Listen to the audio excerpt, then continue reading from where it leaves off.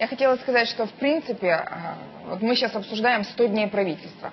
Про год Яценюка можно говорить долго, много, и в принципе и про год, и про 100 дней лучше всего скажут жители Украины, граждане Украины, которые год назад имели одни условия, сегодня имеют э, другие условия, на завтра ждут э, третьих, потому что с, ну, с ужасом ждут тех тарифов, которые будут, которые связаны с, с ценой на газ, которая сегодня есть в Украине. Но я опять же хочу сказать то, о чем сегодня говорили первые выступающие в нашей части.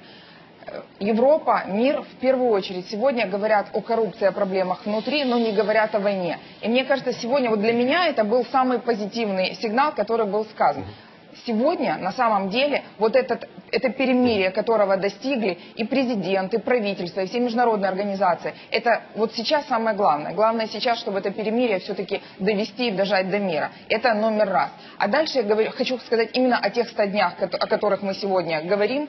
Плохого я слышала, пока э, первая часть была, было очень много, я хочу сказать о другом. Почему появилось новое правительство? Потому что нам надо было переизбрать парламент, потому что предыдущий парламент не хотел делать реформ.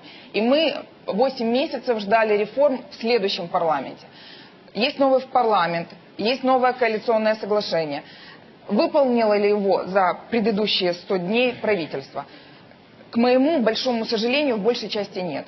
Да, антикоррупционная часть практически вся принята, скоро будет антикоррупционное бюро, да сбоку оно начнет работать. Но не проведена судебная реформа, та, которая должна была быть проведена по крайней мере, в законодательном уровне в течение 100 дней. Тот проект, который мы приняли в парламенте, был внесен президентом, но не правительством, хотя на самом деле блок есть в правительстве достаточный. Для меня самый большой минус, который прошел за эти 100 дней, это то, что мы абсолютно не то, что не выполнили коалиционное соглашение в экономическом блоке, мы налоговую систему изменили вопреки коалиционному соглашению. И я могу сейчас перечислять, и мои коллеги, те пункты, которые в налоговой системе не соответствуют коалиционному коалиционному соглашению, но я хочу сказать о тех позитивах, главном позитиве, который дали нам 100 дней нового правительства.